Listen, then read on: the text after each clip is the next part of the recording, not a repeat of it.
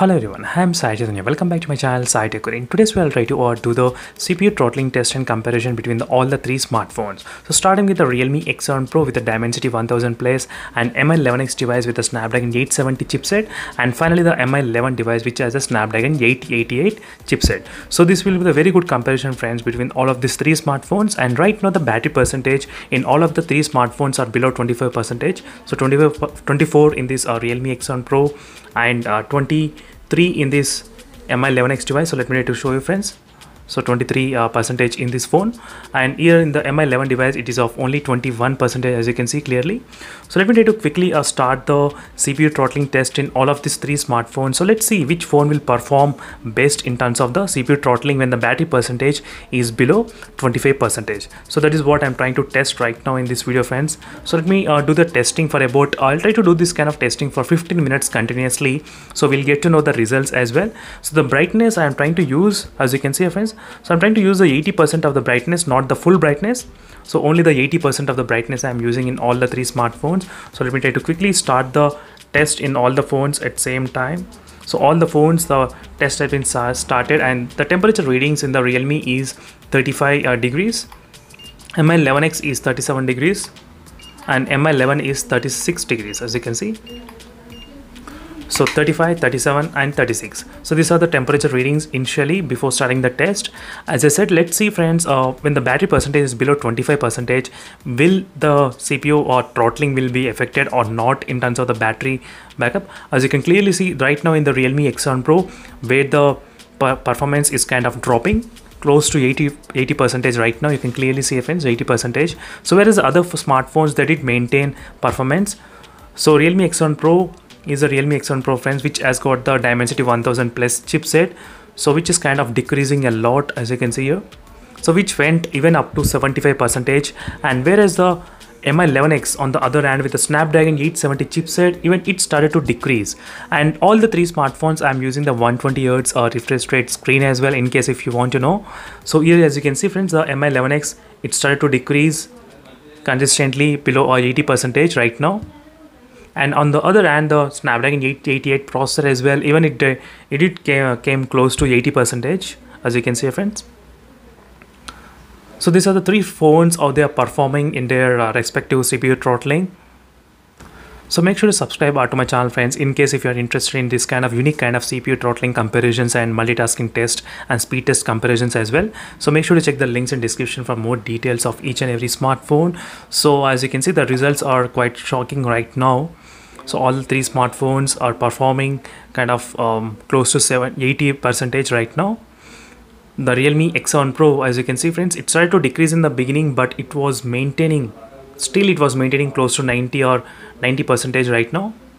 You can see the performance level as well how much it is right now in in this phone. And whereas in the mi11x device with the snapdragon 870 chipset you can see the difference between these both phones how it's performing.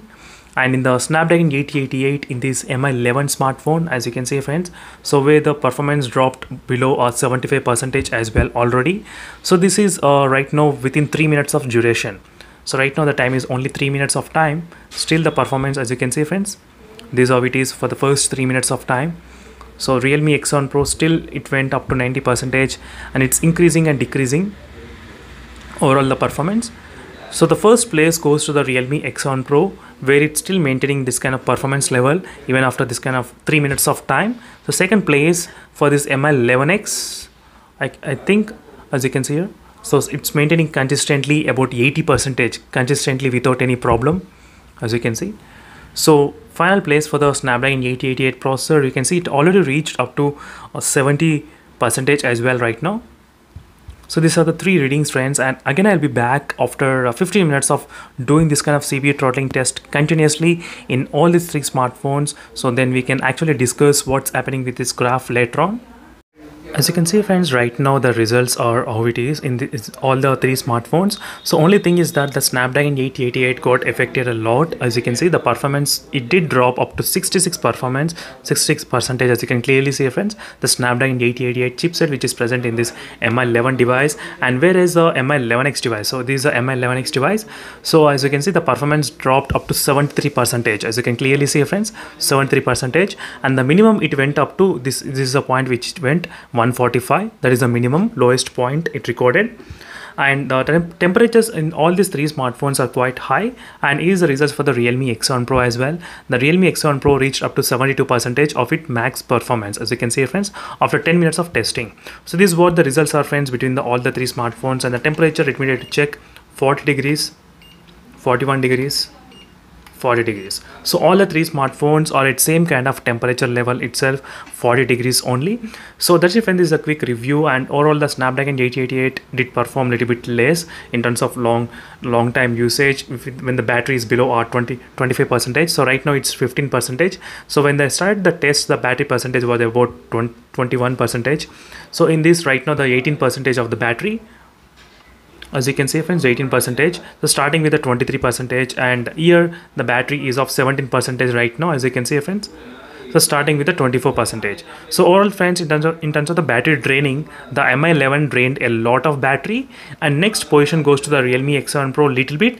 And third position for the mi 11x mi 11x did not drain much battery. So the battery backup in this phone even when the battery is less the performance will not get affected much as well. So this is a quite testing friends. And for more videos make sure to subscribe and stay tuned. And don't forget to check the links in description for more details as well on this in individual mobile uh, links which i have placed in the links in the description below. So see you in the next video friends. Until then bye